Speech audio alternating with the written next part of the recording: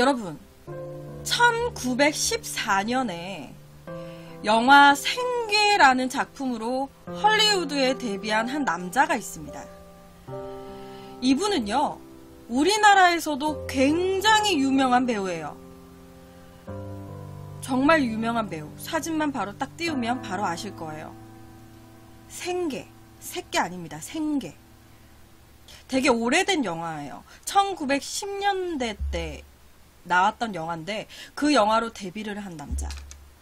그 사람은 바로 옆에 찰리 채플린입니다.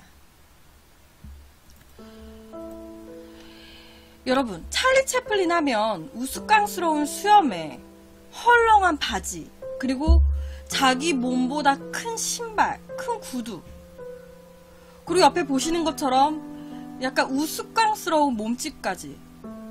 정말 하나의 불황자 캐릭터를 만들어낸 정말 대단한 배우예요. 정말 찰리 채플린 하면은 바로 이게 딱 떠오르잖아. 그리고 현재까지도 이 찰리 채플린의 찰리 채플린을 되게 묘사하면서 흉내내는 사람들도 많고 실제로 찰리 채플린 콘테스트도 현재까지도 이어지고 있는 걸로 알고 있습니다. 여러분들 이 찰리 채플린이요 1942년 미국 뉴욕의 한 파티장에서요 지인의 소개로 한 여성을 만나게 됩니다. 여러분 이분이 찰리 채플린 분장 지우신 모습이래요. 너무 잘생기지 않으셨어요? 찰리 채플린이 1942년 한 파티장에서 지인의 소개로 여성을 만나게 되는데 그 여성은 영화계에 갓 입문한 당시 17살의 우나 오닐이라고 하는 여성이었어요. 이 두 사람은요, 처음 만난 파티장에서 서로한테 바로 끌렸습니다. 찰리 채플린도, 어, 저 여자 참 괜찮네. 우나 오닐도, 어, 멋있다. 이 두 사람은요, 파티장에서의 인연을 시작으로 사적으로 만남을 많이 가지게 됐어요. 그러면서 자연스럽게 애정을 쌓았습니다. 이 두 사람은요, 서로한테 이끌렸고, 마음에 들었으면, 그냥 만나자, 사귀자 하고, 그냥 사귀다가 결혼하면 되는 거예요. 그런데 이 찰리 채플린은요, 선뜻 이 우나운일한테 다가가지를 못했다고 해요. 왜냐면은 이미 이때 당시에 찰리 채플린이 세 번이나 이혼을 한, 결혼에 실패한 경험이 있었다고 합니다. 거기에다가 당시에 정말 찰리 채플린 하면 핫스타였다 보니까 여러 유명한 여배우들, 여배우들과의 연문설이 계속 끊임없이 터지는 거예요. 정말 스캔들의 대명사. 그러다 보니까 찰리 채플린은 생각을 한 거예요. 아, 뭔가 순수한 17살의 우나 오닐 여성이 인제 영화계에 갓 입문한 신인인데 이 깨끗하고 순수한 이 소녀가 또 나와 엮이면 또 나랑 연문설이 퍼져버리면 이미지에 타격을 입을까봐 논란거리가 돼가지고 사람들 입에 입방아에 오를까봐 쉽게 다가가지를 못했다고 합니다. 그런데 반대로요, 이 우나오닐은요, 당시에 이 찰리 채플린이 자기보다 36살이나 많았어요. 찰리 채플린이 우나 오닐보다 36살이나 많았습니다. 그런데도 찰리 채플린한테 사랑을 느꼈어요. 찰리 채플린이 그만 만나자 거리를 두려고 하는 상황이고요. 오히려 이 우나 오닐이 나는 괜찮다고 그냥 만나자고 엄청 잡았다고 해요. 그냥 만나도 된다고 나 괜찮다고. 이 우나 오닐은요. 자기가 두 살 때 부모님이 이혼을 하셨다고 해요. 그러면서 어머니와 단 둘이 살게 됐는데 그러다 보니까 자연스럽게 아버지의 빈자리를 그리워하면서 자랐다고 합니다. 아버지를 그리워하며 살다 보니 또래 남성들한테는 이성적인 감정을 못 느꼈다고 해요. 당시에 우나오닐은요, 또래들한테 이성적인 감정을 느끼지 못하고 자기보다 36살이나 많았던 찰리 채플린한테 이성적으로 끌린 거예요. 솔직히 말이 36살이지 자기의 아버지 뻘이거든요. 이 찰리 채플린도요, 이 우나오닐이 계속 만나자, 나 괜찮다라고 하니까, 또, 이 본인 자체도 이 우나오닐에 대해서 좋게 생각을 하고 있었기 때문에 또 되게 잘해줬겠죠. 그러면서 아마 서로한테 더 마음이 가지 않았을까 싶습니다. 이 두 사람은요, 결론적으로는 공식 연인 선언을 했어요. 그리고 정식적으로 연인이 됐습니다. 사귀는 사이가 됐어요. 아까도 제가 말씀드렸지만 이 찰리 채플린은요 과거 세 번의 결혼 경력이 있었어요. 실패한 결혼 경력이. 그런데 이 세 번의 와이프들이요 다 여배우들이었고 약간 다들 찰리 채플린 남편의 인기와 유명세를 이용해서 나도 스타덤에 오르려고 괜히 핫한 스타랑 이렇게 엮이면은 막 빵 터진다 그러잖아요. 이 신인도. 그러니까 그걸 이용을 한 거예요. 아, 내가 데스타인 찰리 채플린이랑 결혼하면 나도 유명해지겠지. 화제거리가 되길 바랬던 여자들이었다고 합니다. 세 명 다. 그러다 보니까 이 세 명의 여배우들이 가정에다가 가정이 소홀하게 됐고 그러면서 찰리 채플린과 불화가 많았다고 해요. 그러면서 헤어지게 된 거였대요. 그런데 이 우나 오닐 같은 경우에는요. 항상 그랬대요. 찰리 채플린한테. 나 연예인이고 뭐고 여배우고 뭐고 그런 거 상관없다고. 나는 그냥 당신이랑 결혼해서 당신 닮은 아이를 낳고 그냥 평범하게 살고 싶다고. 항상 그렇게 얘기를 했었다고 합니다. 그냥 당신 닮은 아이 낳고 그냥 살고 싶어. 이전까지 차, 찰, 이전까지 찰리 채플린이 만났던 여자들과는 완전히 다른 거죠. 이전의 여배우들, 이전의 와이프들은 아, 막, 어, 남편, 나 좀 다른 영화에 좀 꽂아주면 안 돼? 아, 당신 인맥이나 당신 영화도 제작하잖아. 거기 여주인공으로 나 써줘. 막 이런 식으로 약간 인기를 얻으려고 이용하는 듯한 느낌이었는데 이번에 우나 오닐은 달랐던 거죠. 당신 닮은 아이 낳고 그냥 평범하게 사는 게 내 꿈이에요. 이 우나 오닐이요. 찰리 채플린과 연애를 하게 되고 결혼을 결심을 했어요. 그리고 당연히 서로의 부모님의 허락을 받게 됩니다. 그런데 이 우나온일의 아버지가 굳고 반대를 해요. 절대 안 된다고. 아무래도 36살의 나이 차이에 그리고 아빠 입장에서는 이 찰리 채플린이 여배우들마다 다 연문설이 퍼지는데 그 사람한테 누가 딸을 보내고 싶겠어요. 그러다 보니까 굳고 반대를 해요. 결혼은 절대 안 된다고. 그런데 이 우나온일은 아, 아빠 그러면 미안하다고 하면서 아버지와 의절을 합니다. 나 이 남자와 절대 못 헤어진다고. 그런데요, 1943년에 또 한 사건이 발생을 합니다. 당시 신인 배우였던 조안 벨이라는 여성이 있어요. 조안 벨이라는 여성이에요. 이 배우가요, 나 찰리 채플린 아이 낳아서 키우고 있습니다. 라고 하면서 친자 소송을 건 거예요. 지금 안고 있는 이 아이가 찰리 채플린의 아이이다. 나는 찰리 채플린과 관계를 가졌고 아이를 낳았다. 친자 소송을 건 거예요. 이때가 찰리 채플린과 우나 원일은 사귈 때인데. 당시에 이 사건은 엄청난 화두가 됐습니다.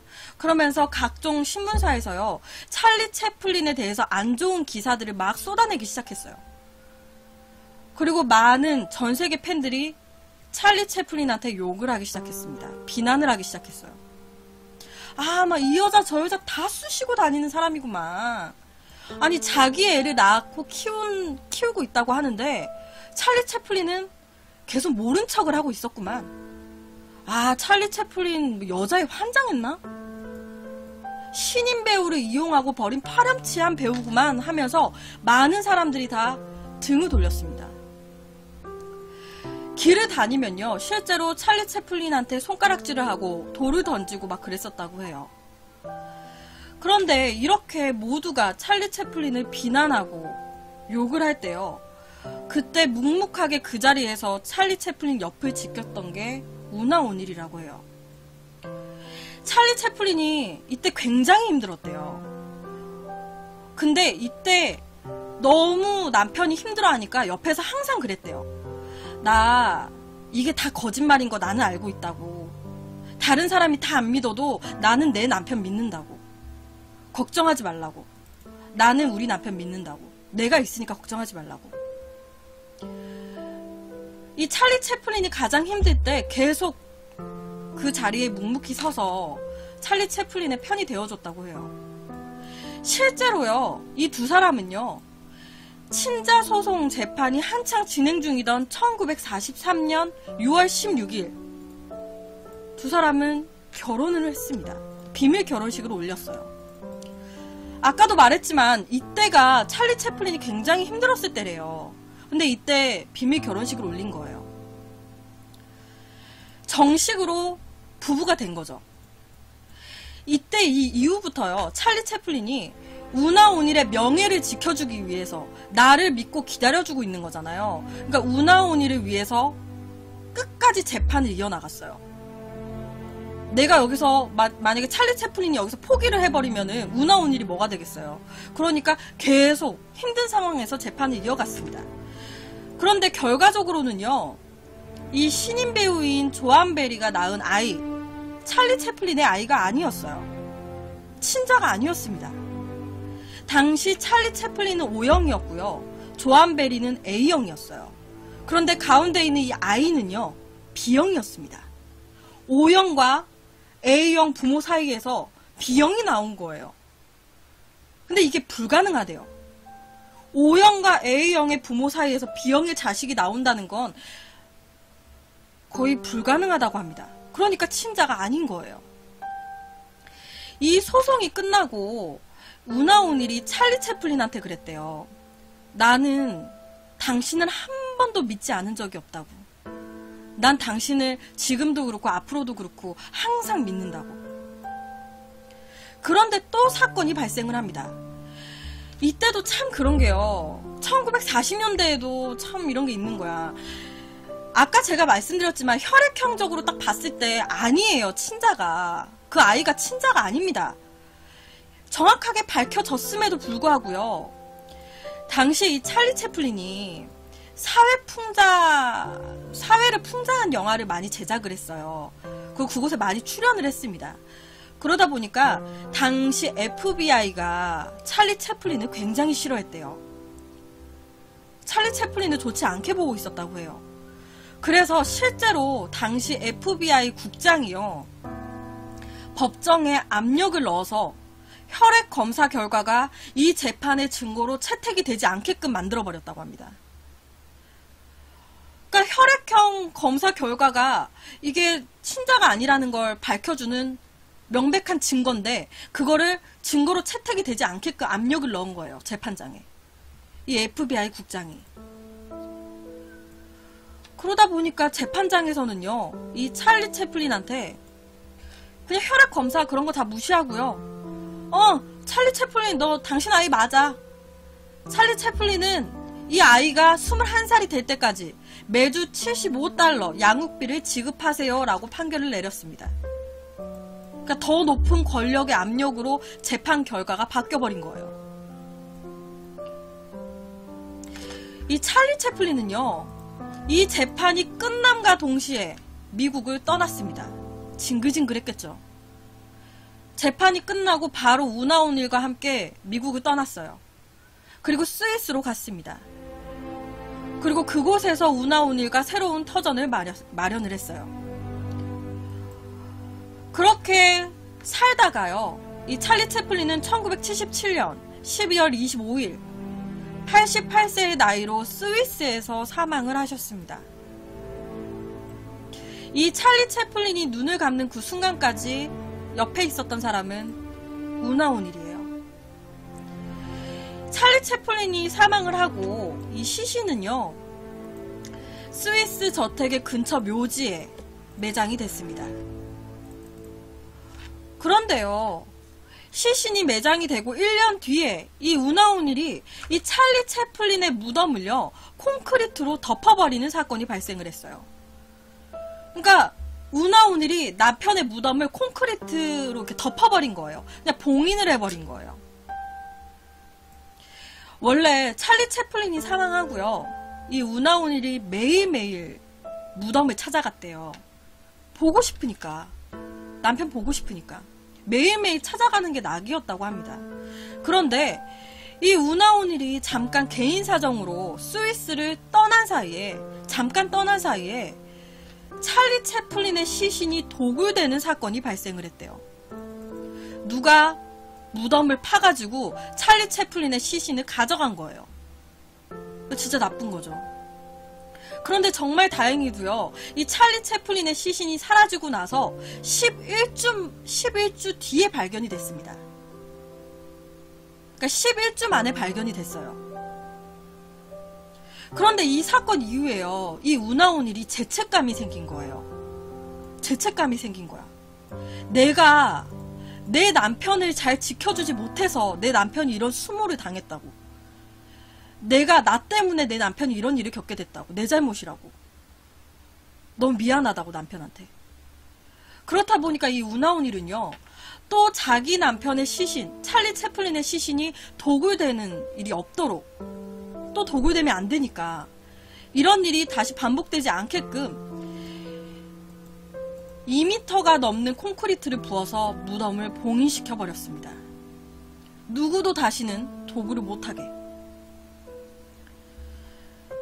여러분, 찰리 채플린이요 너무 힘들 때도 곁에 있어줬던 누구보다 제일 믿어주고 헌신적이었던 여인이라고 알려져 있습니다. 찰리 채플린 곁에서 제일 헌신적이었던 아내 우나오닐. 이 우나오닐은요 66세 때 사망을 하셨어요.